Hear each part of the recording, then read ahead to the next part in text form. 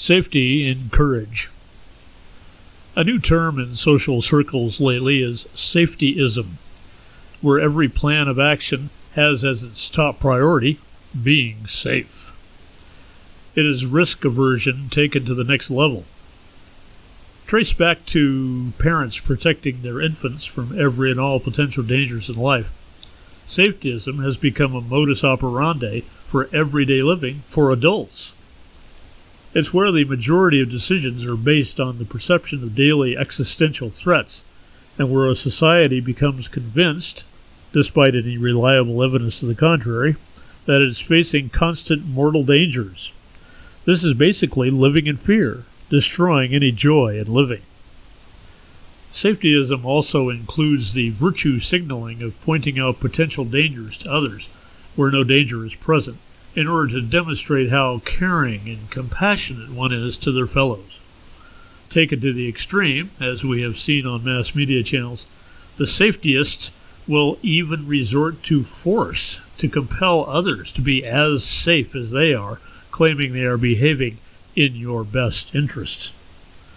This brings to mind the movie Knight and Day, Tom Cruise and Cameron Diaz, where Cruise's character warns Diaz that if she is ever told we are doing this for your protection.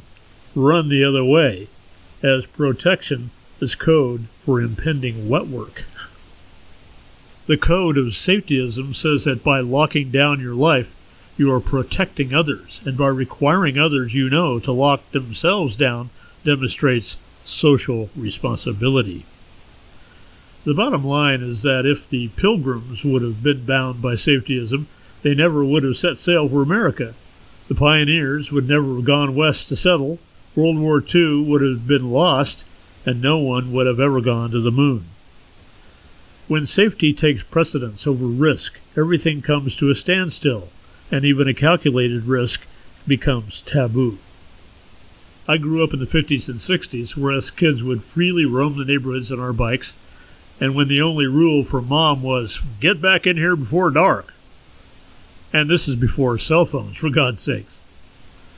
Mom trusted in us kids' ability to stay alive, not to mention it was good to get them out of the house so she could drink her coffee and talk to other mom friends in peace.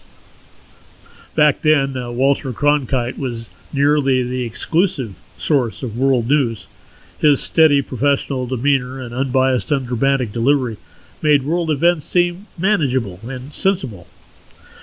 But as media markets expanded and became more competitive, the more sensational outlets got the most viewers and thus advertising dollars.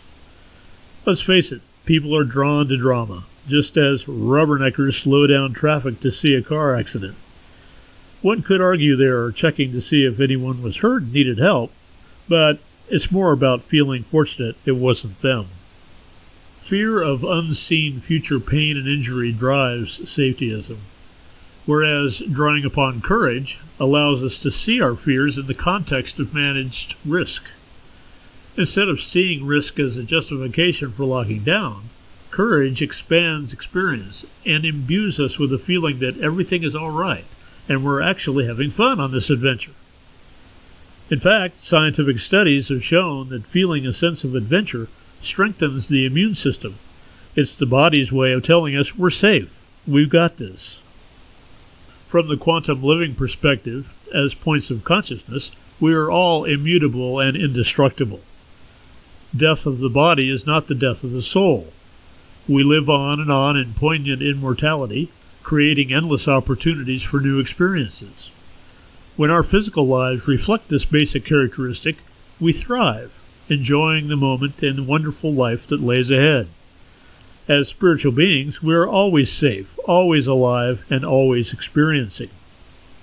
Both fear and courage are contagious. Either one can negate the other. It is simply a matter of choice as to which you indulge in.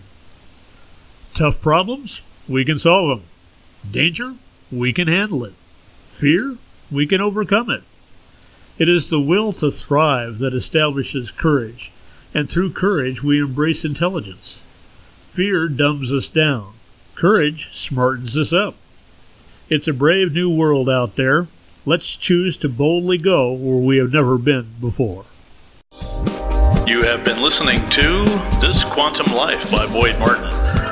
Brought to you by the Quantum Health newsletter from Pure Energy RX. www.pureenergyrx.com.